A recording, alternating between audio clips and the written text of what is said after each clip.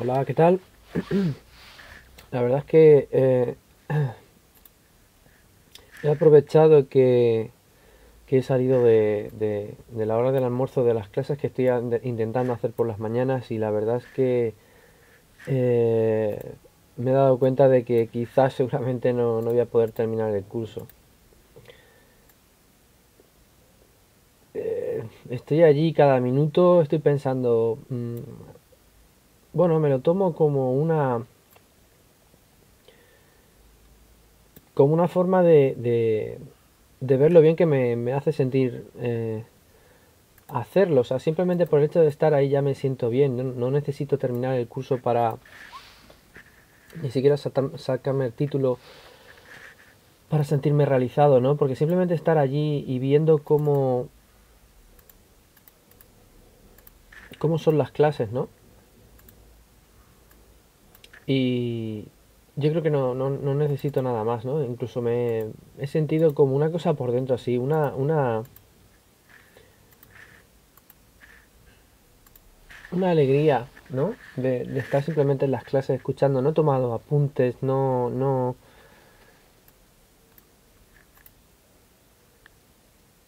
la verdad es que no, no me hace falta nada más. Eh, pero no sé por qué siempre tengo la sensación de decir, venga, aprovecha, intenta, intenta sacarlo adelante, seguro que lo puedes sacar. Pero yo creo que es muy difícil, es muy difícil. Yo no, no tengo la cabeza para estar pensando en, en, todo, todo lo que que, todo lo que hay que hacer, ¿no? Yo, la verdad es que realmente trabajar es, yo estaba haciendo trabajo relativamente complejo, ¿no? Con, con programas en 3D, tipo Unigraphics, tipo, bueno, en Unigraphics no lo he manejado, ha sido el, un derivado de de Unigraphics es una variante de otra compañía, creo, pero creo que también la compraron, pero es de el Solid, Solid Edge, que es para hacer cosas de planos y en plan de ese tipo. Y, y, y también es complejo porque tienes que, que, que ensamblar piezas. Y es mucho más fácil, quiero decir. Tú cuando te dan un trabajo, sí, tú te puedes complicar y, y hacer lo que tú quieras, pero no sé si es por el hecho de, de, encontrarme con trabajos que en realidad no no son de verdad, porque evidentemente sí que son como los de verdad. Es decir, tú te, te encuentras ahí con un montón de, de variantes, ¿no? Te encuentras ahí con, con todos los elementos que, que realmente hay en la realidad. O sea, no, no hay... No se puede decir que estén bien hechos, están muy bien hechos, ¿eh? No quiero, no quiero decir que los profesores no se lo hayan currado buscando eh, el tipo de ejercicios que ellos quieren quieren hacer, ¿no? Para que tú te encuentres con, con lo más parecido a lo que a lo, a lo que será la realidad. Y pero simplemente por estar allí, estaba escuchando las clases, no como estaba hablando el profesor, el ambiente de la, de la clase ya es como si estuviera afuera. Entonces lo, he intentado tomar como una forma de, de, disfrutar el momento. Quiero decir, estaba en la clase de que fuera, estaba en la de historia, estaba escuchando de lo que estaban hablando porque, porque eh, es que lo que se llega a decir, por ejemplo, eh, lo que, lo que me han llegado a decir a mí es que realmente no me gusta, ¿no? Lo que estoy haciendo no me gusta. Ah, sí, ¿no? Dibujar y hacer cosas en 3D, sí, eso se te da bien, eso sí que te gusta, ¿no? Pero, por ejemplo, que me hubieran dicho que, por ejemplo, que historia no me... que a- no es que a ti no te gusta la historia, ¿no? Eso es lo que se ha llegado a decir. La profesora seguramente la que era la profesora de, de historia diría, es que no le gusta la... se nota que no le gusta la historia. Y eso me lo dijo la propia tutora. Bueno, no me dijo que lo dijo la profesora de historia, pero evidentemente si dijo eso es porque eh, cuando han hablado han llegado a la conclusión de que no me gusta la historia. Y yo estaba disfrutando en ese momento la clase de, historia, lo que estaban diciendo sin tomar apuntes, como cuando estás viendo un, un- viendo las imágenes, las fotos y viendo nuestro pasado, ¿no? Como, como humanidad, la humanidad, nuestro pasado, es nuestro pasado. Qué maravilloso. Y estaba disfrutando tanto que en ese momento estaba pensando, me da igual que la gente crea que, que, que realmente esto no me gusta, porque yo estoy feliz, lo estoy viendo y, me, está encantando. Y me da igual que la gente no pueda medirme, o sea, no, no me dé por cualificado porque me ha salido porque me han tenido que poner una nota deficiente, porque no he podido dar la talla en cuanto a... no he podido dar la talla, no, no he podido... No he podido no he podido hacerlo, pero yo me siento, a mí me da igual, mientras yo sepa que eso a mí sí me gusta, a mí realmente sí me gusta. He llegado a pensar que no me gustaba, pero si tú has visto documentales, has visto cosas, a mí se me quedan cosas de información que a lo mejor en una, en una clase normal no, la vas a, no la vas a adquirir. O si la adquieres, se lo ves siempre por el enfoque que te va a dar el, el, el profesor. ¿Qué, cómo, ¿Cómo se mide que es realmente... O sea, eh, ¿tú cómo aplicas, por ejemplo, para un trabajo, si realmente te gusta eh, una asignatura o un trabajo? ¿Cómo se mide? ¿Cómo, ¿Cómo enfocas? Si tú realmente estás en un trabajo, ¿cómo lo enfocas? ¿Cómo lo quieres que lo haga el, el, el jefe? Porque realmente el jefe no te va a obligar a, que una cosa te guste o no. El jefe lo que quiere es que lo hagas. Y cuando te metes en el...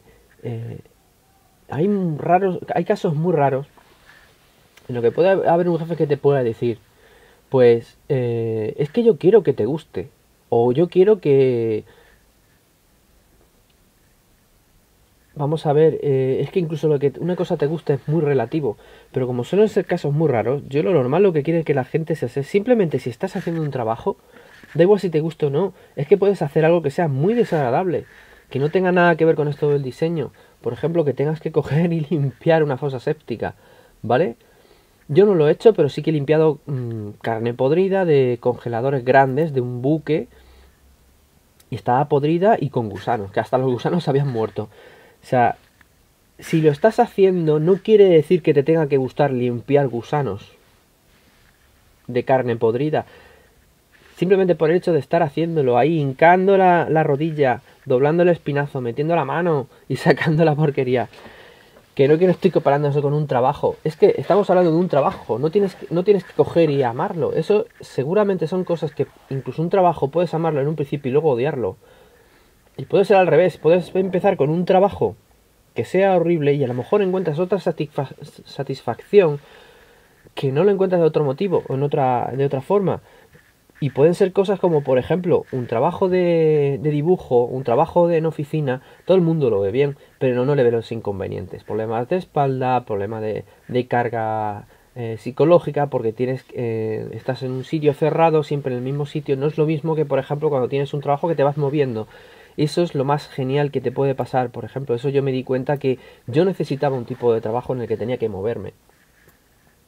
Así que no me vale eh, el que a mí vengan profesores, eso te lo dice la vida, el que, el que algo te guste o no, como es una cosa que solo lo sabes tú, o incluso te puedes sorprender a ti mismo viendo que, que, que algo, cuando la gente, todo el mundo dice, no, pues esto no te gusta, o esto es así, o, eh, la gente tiende a poner etiquetas y cuando te sorprendes a ti mismo viendo de que algo, algo realmente te, te, motiva y no puede haber más, más eh, recompensa en, en, en hacer cualquier cosa que es que ves que, que eh, no, vas a no vas a ganar nada con ello, aunque no lo consigas, mmm, voy a estar muy contento, voy a estar genial porque he tenido buenos, malos momentos, hay gente que me ha saludado, hay gente que, que por ejemplo, no me, no, es que ni me mira la cara, ni siquiera he podido hablar con ellos, pero porque en el momento que tienen algún tipo de idea, dicen, no, en el momento que yo me salga de, la, de, de, de, hacer las clases,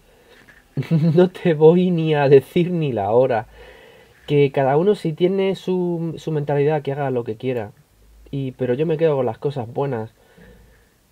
Aunque me repetía que, por ejemplo, ir a las clases y esa persona que no te daba, no te, ya parecía que estaba fuera del curso, no me daba ni la hora, ni fuera de la clase, ahora cuando estoy adentro, saludo otra vez cuando estoy adentro.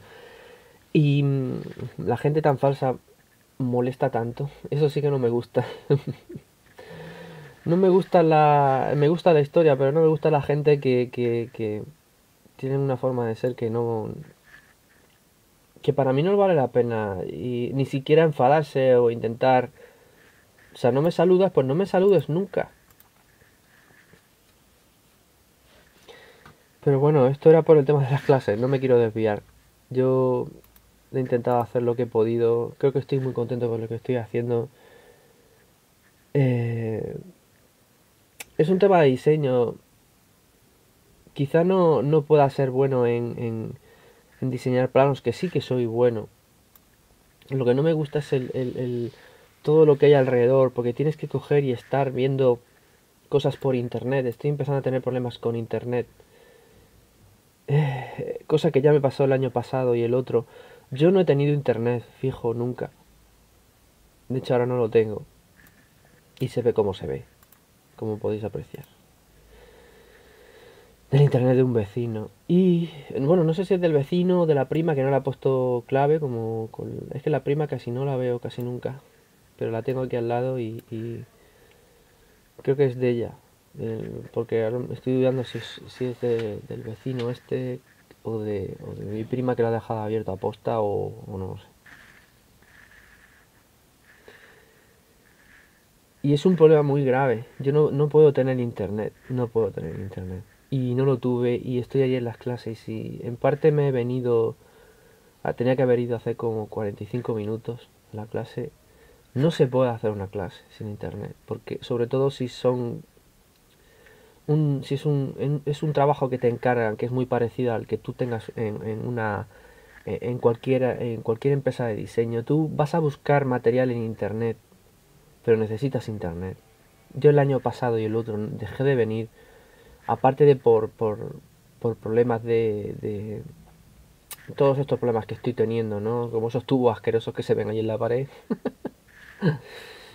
que se me rompió la tubería, yo no podía estar haciendo, yo no tenía la cabeza ni la situación laboral, yo tengo que hacer, tengo que hacer cosas, me tengo que dejar las clases, yo no puedo estar haciendo un curso porque cuesta tiempo, cuesta dinero y yo primero tengo que comer, la clase no me da, no me da de comer, puede que me lo dé más adelante. Aunque como ya digo, ya prácticamente he renunciado a ello, he renunciado al curso. Y me pasa como a la gente que sube al Everest. Eh, una vez que ya estás, lo ves y dices, no, si es que puedo llegar a la cumbre.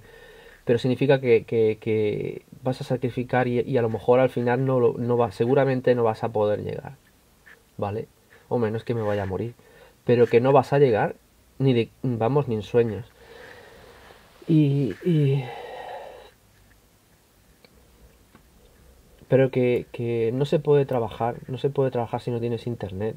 Yo he intentado hablar con gente allí, tienen problemas con, con, con pagar a informáticos y toda la historia, y llevo dos años que no puedo conectarme a internet. Yo no podía conectarme a internet aquí. Lo mejor para hacer los cursos es terminarlo allí. Yo no quiero coger, hacer el trabajo allí, que me den toda la información y allí uh, a ver cómo, cómo, vuelan, cómo se pasan las moscas, a mirar las musarañas con el ordenador encendido, haciendo cosas, imaginando qué es lo que puedo poner cuando ahorraría muchísimo tiempo y tendría la tarde libre para, para las, asignaturas que me quedan y, y no tener que buscarlas luego yo en casa, porque eso es lo que me niego. Me estoy encontrando el mismo problema que antes. Exactamente el mismo.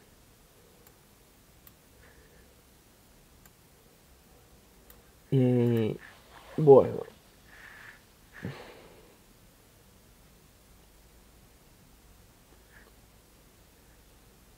en definitiva que, que he renunciado. Siempre que voy a las clases pienso, no, no, voy a seguir el curso, pero no puedo.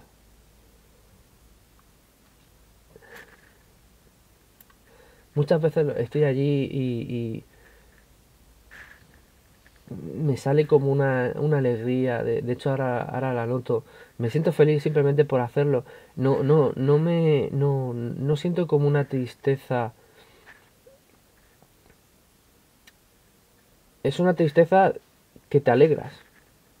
Siento una tristeza ahora mismo que me da como energía de pensar, bueno, me da igual, yo me siento me siento lleno porque por lo menos he estado haciendo algo que me gusta.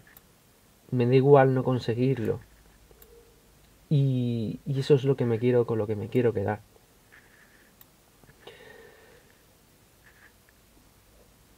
Pero me doy por vencido, o sea, yo soy una persona, yo, yo creo que una cosa quede muy clara, la gente que pueda ver esto, eh, no escoger y sentirse triste y decir, estoy hundido, tal, es que no, no pasa nada, no importa, o sea, eh, cuando, cuando realmente llegas a renunciar a eso que tanto quieres, no importa. A mí no se me puede, a mí no se, no se me va a poder eh, poner un número, a mí no se me puede poner una cifra y decir, esta persona es buena en, en esto, ¿no? Yo creo que estaba haciendo trabajos y la gente con la, eh, con la que he trabajado en empresas y manejando programas más o menos complejos, ¿no? Con controles numéricos de seis ejes, con, con haciendo programación ISO, haciendo cosas en AutoCAD, haciendo cosas en Solid haciendo cosas en, en, en 3D Studio. Eh, he hecho un montón de he hecho un montón de cosas y con distintos programas y con distintos jefes, distintas empresas. Y yo creo que, yo creo que les he dado un buen un buen servicio y te cambian simplemente pues por no por no pagarte para no tenerte mucho tiempo y tener que pagarte más porque yo realmente con los jefes yo nunca he estado he intentado nunca he intentado hacer que me paguen más o lo que sea o intentar bueno en un momento sí porque me dijeron mis padres habla con ellos y le dices que estás has entrado en el piso. A la porra hombre